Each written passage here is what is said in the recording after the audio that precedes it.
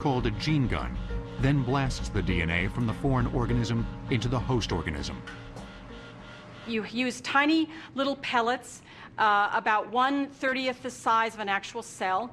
Uh, you coat that pellet, which is actually made of gold, uh, with DNA. You shoot it at a very high speed, about 600 miles per hour, down a chamber, uh, and at the bottom of the chamber is our plant cells. And those little tiny beads go inside of the plant cells and end up inside and become incorporated into the DNA of the plant cell. The gene gun also injects a genetic promoter, which makes sure the new gene is permanently switched on. And there you have it, a genetically modified organism. For critics, the promoter is just one of GE's problems. The promoter turns on the inserted gene permanently, but we now know that it can potentially turn on other genes inside the DNA permanently which can create all sorts of things allergies, toxins, new diseases, carcinogens, anti nutrients, or things good.